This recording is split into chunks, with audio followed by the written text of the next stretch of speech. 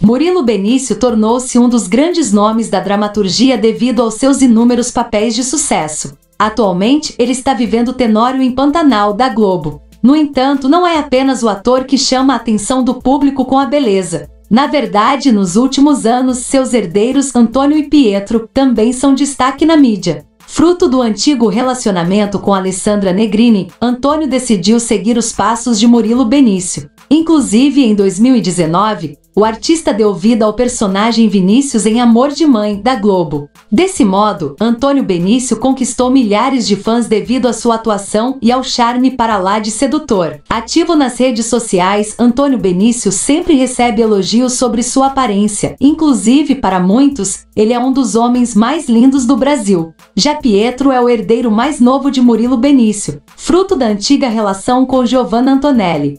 Porém, da mesma forma que o irmão, o artista chama a atenção devido à simpatia e beleza. Mesmo com apenas 17 anos, Pietro Benício já é destaque. Nos cliques com os pais, ele sempre está com um sorrisão estampado no rosto. Desse modo, para muitos, ele é um dos mais lindos.